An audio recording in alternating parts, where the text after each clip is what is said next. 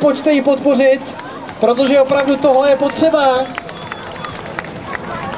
Každý soutěžící se za tu odvahu, už jenom za tu odvahu, vaši podporu maximálně zaslouží. Denisa v tuto chvíli skoro v polovině pozdědínské lávky a drží se, jede opravdu střídně, pomalu, hezky.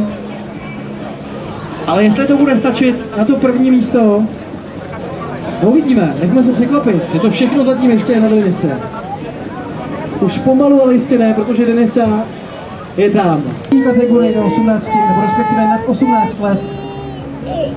Teď už jenom, aby si za námi doběhla. Ona očividně s tím nepočítala. Aspoň tak vypadá, pojďme jí zatleskat, to je místo druhé Denisa. Denisa získává speciální památeční trikot koncertní lávky s číslem 2, to znamená druhé místo a i Denisa získává. Přejete, abych tam kdo to rozoupává, nějak se mi to začalo třást. Ale já myslím, že nejvyšší čas, abych tu lávku, ježiš, ono to fakt není úplně jako jednoduchý. Abych to jako opustil, ale přijďte pro mě někdo. Přijďte pro mě někdo, já si dál nedojdu. Ale, ale jsem za polovinou, to vždycky říkám, že každý borec, kdo dojede do poloviny, je dobrý. A ono opravdu to není úplně jednoduchý potom chodit, jo, když to mám ještě takový flak před sebou. Maria.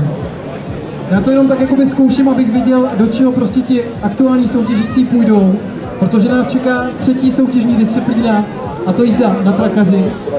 Pane, vy si tak roze, rozehbíháte, jak byste mi to... Ne, Maria, nechte to.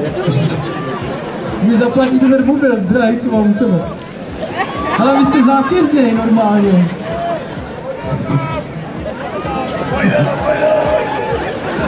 A já jsem dobrá. Jsem úplně zapomněl, proč jdu na tuhle stranu, ale normálně.